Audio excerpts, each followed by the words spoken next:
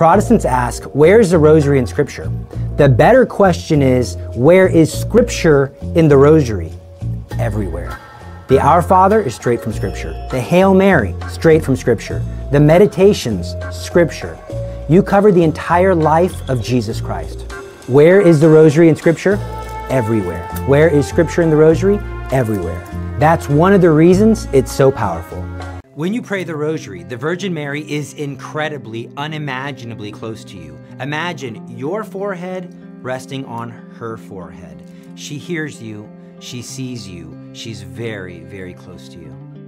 Jesus Christ gave you Mary as your mother for the same reason that he took Mary as his mother to console you, to prepare you, to provide for you, to nourish you, to offer you sweetness. The problem is we don't go to her enough. And usually this happens for one of two reasons. Either one, we are too attached to our own will to pause and say, Blessed Mother, how should I handle this situation? How should I act in this circumstance? Again, because Jesus did this first. Or we're too hasty. We don't want to stop and say, What should I do? And when we do ask, we don't wait to hear her response. There's a great saying in Spanish, con calma y alma, to do something calmly and with great love.